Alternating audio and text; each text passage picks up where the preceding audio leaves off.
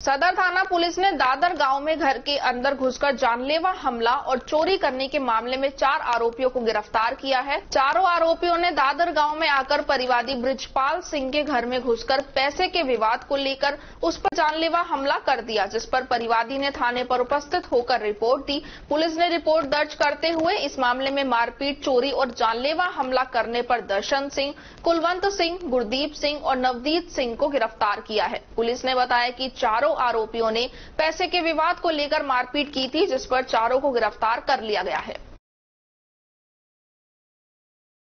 परिवादी ब्रिजपाल सिंह, सिख निवासी दादर ने एफआईआर नंबर पाँच सौ अड़तालीस बाईस दिनांक सोलह छह दो हज़ार बाईस को दर्ज कराई थी, जिसमें आरोपी गुण द्वारा घर में घुसकर मारपीट करने, जानलेवा हमला करने की और चोरी करने का दर्ज कराया था प्रकरण, जिसमें बाद अनुसंधान आज आरोपीगण करशन सिंह कुलवंत सिंह गुरदीप सिंह और नवनीत सिंह को जानलेवा हमला करने के आरोप में गिरफ़्तार किया गया है। तो सर इन्होंने किससे मारपीट करी क्या क्या मामला था?